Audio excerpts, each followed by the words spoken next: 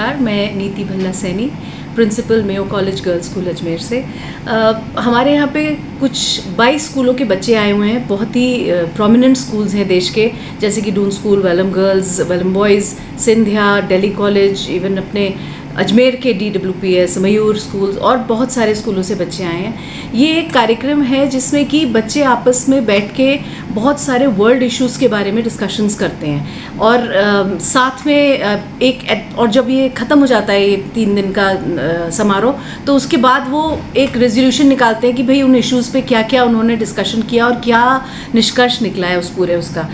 U UN से related सारे जो भी इनकी कमिटीज़ हैं यूनाइटेड नेशन से रिलेटेड उनके ऊपर इनके डिस्कशंस हैं। जैसे कि इस समय वॉर के ऊपर बात हो रही है, जो कि इराक एंड इस समय वॉर चल रही है इसराइल की साथ में, उसके ऊपर उनका बात बातचीत चल रहा है।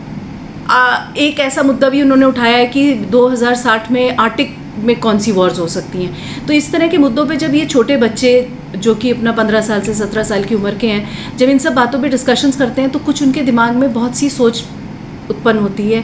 वो बहुत सारे फ्यूचर थिंकिंग सिटीजन्स की तरफ़ मूव करना शुरू करते हैं। ये जो भी समारोह हमने अपने स्कूल में रखा है बच्चों के लिए, ये एक जो हमारा मेन मोटिव है, उसमें यह है कि बच्चे जो हैं वो आज की डेट के जो यंग बच्चे हैं, वो कल के हमारे लीडर्स होंगे और वही हमारे कीपर्स होंगे, वही सस्टेनेबिलिटी लाएँगे इस वर्ल्ड में। और यही बच्चे हैं जो कि मेक श्योर करेंगे कि दुनिया जो है किस तरह का रूप ले।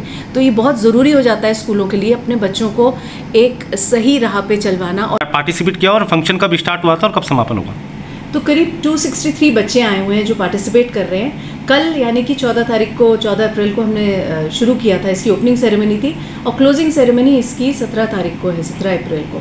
तो हम उम्मीद करते हैं कि बच्चे यहाँ से कुछ ना कुछ नई सीख लेके जाएँगे जो अपने जीवन में उसको अमल कर पाएँ और एक बदलाव ला पाएँ अपने